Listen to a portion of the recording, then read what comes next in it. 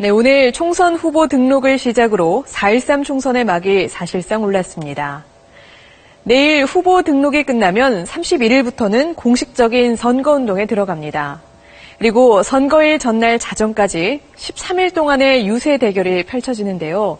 국민의 선택을 받기 위해 각 당이 넘어야 할 관문은 뭔지 정영태 기자가 보도합니다.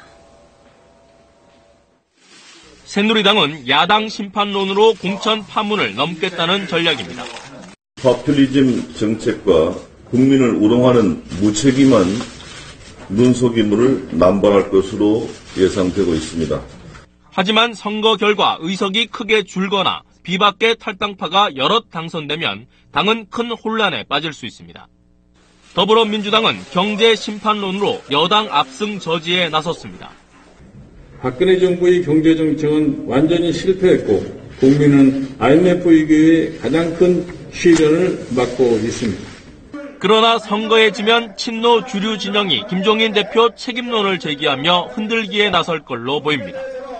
양당 심판론을 내세운 국민의당은 일단 호남을 잡고 적어도 교섭단체를 구성하는 게 목표입니다. 실패할 경우 안철수 대표의 대선 가도에는 적신호가 켜집니다. 이번 총선은 이렇다 할 정책 대결이 보이지 않습니다.